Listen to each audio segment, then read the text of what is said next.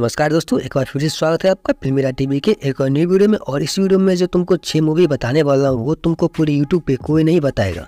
थोड़ा ज़्यादा लंबा हो गया। जिसमें तुमको क्राइम मिस्ट्री थ्रिल और सस्पेंस सब कुछ देखने को मिल जाएगा। मतलब लिस्ट की सारी की सारी मूवी फुल्ली इंटरटेनिंग होने वाली है। और जिसे तुम अगर खाने के टाइम देखते हो तो भाई बिना मूवी देखे तुम उठने वाले नहीं हो। ये हुई ना बात! अब इतना सब फेंकने के बाद भी अगर तुम वीडियो को लास्ट तक नहीं देखते हो तो भाई तुम क्या कर रहे हैं मज़ाक है क्या? दिन के उजाले में मॉडर्न कपड़े पहनती है। रात के अंधेरे में देसी कपड़े।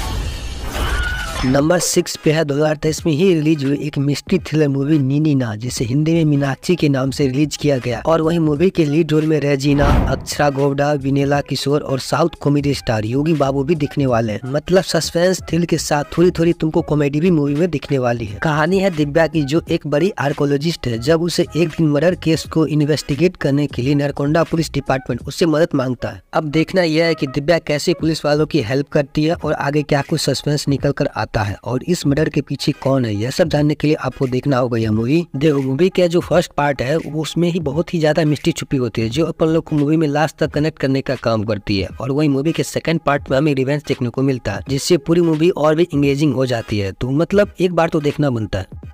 बात तो सही है।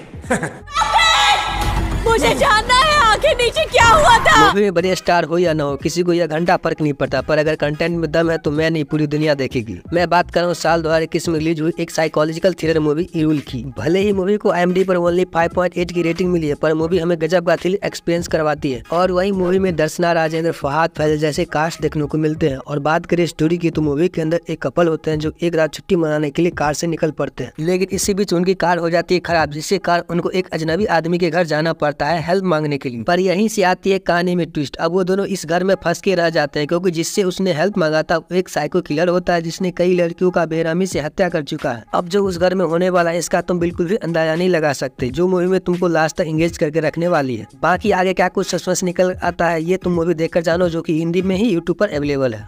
ठीक है। नंबर फोर पे है नरादर यह एक सस्पेंस थ्रिलर मूवी है मतलब साउथ की मूवी हो और अपन लोग को पसंद ना है ऐसा हो सकता है क्या?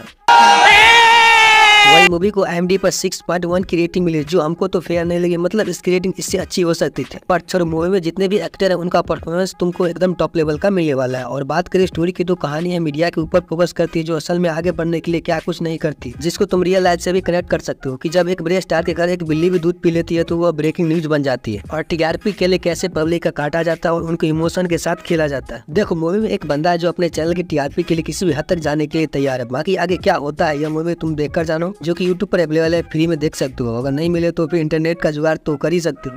लिस्ट की थर्ड मूवी में दिया यह एक रोमांटिक थ्रिलर ड्रामा मूवी है, जो भाई तुमको एंड तक मूवी में चिपका कर रखने का काम करेगी। मतलब भाई क्या ही मूवी है, जिसे आई पर 8 आउट ऑफ़ 10 की रेटिंग मिली है, जिसके लीड रोल में खुशी, दीक्षित सेठी जैसे कास्ट देखने को मिलते हैं, जिनका परफॉर्मेंस तुमको मूवी में टॉप नॉच का मिलने वाला है। कहानी है दिया जिसे रोहित से एक तरफा प्यार हो जाता है। दिल में बहुत सारा प्यार और सपने इसके कई सारे, पर जब बात आती है इजहार करने की तो भाई बोल नहीं पाती। इन सब के बीच में आता है आदि नाम का लड़का, जिसका दिया की लाइफ में एक बड़ा और इम्पोर्टेंट रोल होने वाला है। तो अब आगे दिया और रोहित के साथ क्या होता है इसके लिए देखना होगा आप लोगों को ये मूवी मूवी सेम नाम से यूट्यूब पर अवेलेबल है तो जाके एंजॉय करो। सेकेंड मूवी है Ishq not a love story अब मूवी का नाम सुन के तुमको लग रहा होगा कि ये एक रोमांटिक ड्रामा मूवी होने वाली है, पर जब तुम देखोगे, तुमको पता चलेगा, ऐसा बिल्कुल नहीं। और बात करें स्टोरी की तो मूवी के अंदर एक कपल है, साक्षी और बस्ता, जो एक दूसरे से बहुत ही ज़्यादा प्यार करते हैं और एक दिन दोनों लॉन्ग ड्राइव पर जाने का प्लान बनाते हैं। पर इनकी लाइफ में प्रॉब्लम तो तब शुरू होती है, जैसे ही रात होती है और इनकी लाइफ काली रात में बदल जाती है। देखो, होता यह है कि ये दोनों ऐसी सिचुएशन में फंस जाते हैं जिनकी उम्मीद न हमको होती है और न इन लोगों को। तो आखिर क्या होता है? इन लोगों के साथ और यह मूवी लव स्टोरी से थ्रिल में कैसे बदल जाती है, इसके लिए तुमको देखना होगा ये मूवी जो कि यूट्यूब पर ही अवेलेबल है। तो जाके एंजॉय करो। लिस्ट की आखिरी मूवी है दो की एक मिस्ट्री थ्रिलर मूवी गेम जिसे आई पर 5.7 की रेटिंग मिली है और वही मूवी के लीड रोल में Arjun Sarja A M R Ramesh के साथ साथ मनीषा कोयराला भी देखने को मिलती है। और बात करें मूवी के स्टोरी की तो होता यह है कि मूवी के अंदर एक हाई प्रोफ़ाइल महिला का मर्डर हो जाता है। अब जब इस केस को पुलिस इन्वेस्टिगेट करती है तो उसके पति का ही नाम सामने आता है। पर कहानी में ट्विस्ट तो तब देखने को मिलता है जब महिला का बॉडी मुर्दा घर से गायब हो जाता है, अब उस महिला का मर्डर किसने किया और पुलिस फिर से किस तरह से इन्वेस्टिगेट करती है, इसके लिए तुमको देखना होगा यह मूवी मूवी के अंदर गजब का सस्पेंस और थ्रिल देखने को मिलता है, जो तुमको फेविकॉल की तरह इन तक स्क्रीन में चिपका कर रखेगी। और ये मूवी यूट्यूब पर ही देखने को मिल जाएगा तो जाके एंजॉय करो।